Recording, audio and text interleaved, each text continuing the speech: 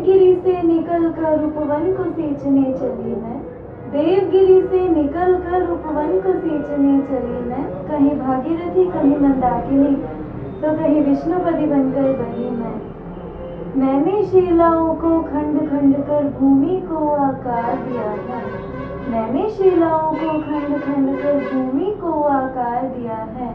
कल कल बहती मेरी धाराओं ने हर प्राणी को जीवन का आधार दिया है। युगों युगों से करती रही हूँ पापों का विनाश मैं। निराशाओं को आशा बनाकर बनती रही विश्वास में। पर आज देख खुद को मलिन, पर आज देख खुद को मलिन।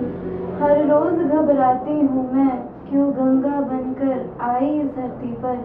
ये सोच सोच पछताती हूँ मैं, क्यों गंगा बनकर आई इस धरती पर? ये सोच सोच पछताती हूँ।